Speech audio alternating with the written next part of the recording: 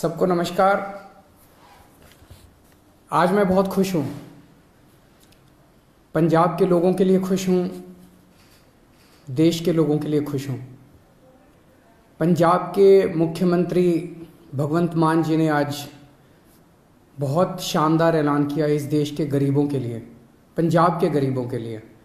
और मैं समझता हूँ कि पूरे देश पे आने वाले समय में इसका असर पड़ेगा। भगवंत मान जी ने ऐलान किया है कि पंजाब में गरीबों का राशन उनके घर घर तक पहुँचाया जाएगा। Door step delivery of ration घर घर राशन योजना। अभी आज़ादी के 75 साल बाद भी एक गरीब आदमी को अपना गेहूँ, चावल महीने का जो राशन होता है, जो सरकार देती है, वो राशन लेने के लिए लंबी लंबी लाइनों में लगना पड़ता है। छुट्टी लेनी पड़ती है। ढेरों तकलीफ़ें उठानी पड़ती है। आज ज़माना ये आ गया कि एक फ़ोन करो और फ़ोन के ऊपर ऑर्डर करो और पिज़्ज़ा आपके घर आ जाता है। सारा सामान आपके घर आ जाता है, लेकिन राशन लेने के लिए गरीब आदमी को लंबी लंबी लाइनों में लगना पड़ता है। तो घर घर राशन योजना के तहत लोगों का गेहूँ या आटा या दाल, जो भी है, चावल, वो अच्छी सी पैकिंग करके, बोरी में पैकिंग करके आपके घर का जितना भी बनता है, वो आपके घर में सरकार हर महीने आपके घर में दे के आएगी।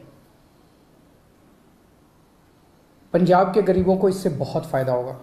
तो मैं पंजाब के लोगों को बहुत बहुत बधाई देता हूँ। मैं समझता हूँ ये जल्दी लागू होगा, आज ऐलान किया गया है।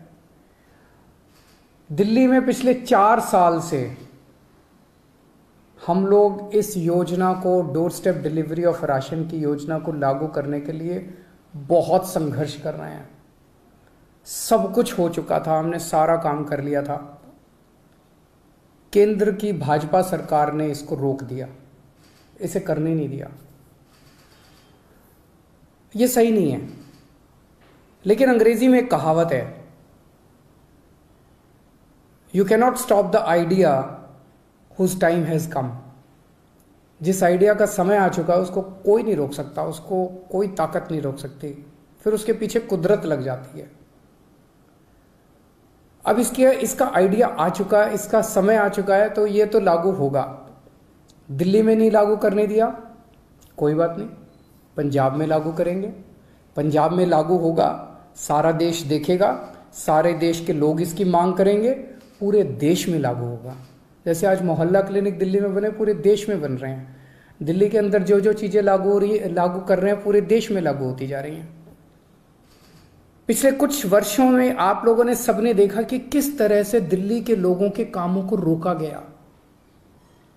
किस तरह से हम मोहल्ला क्लिनिक बनाना चाहते थे, मोहल्ला क्लिनिक को दो साल तक रोक दिया लेकिन फिर बनाए हम लोगों ने।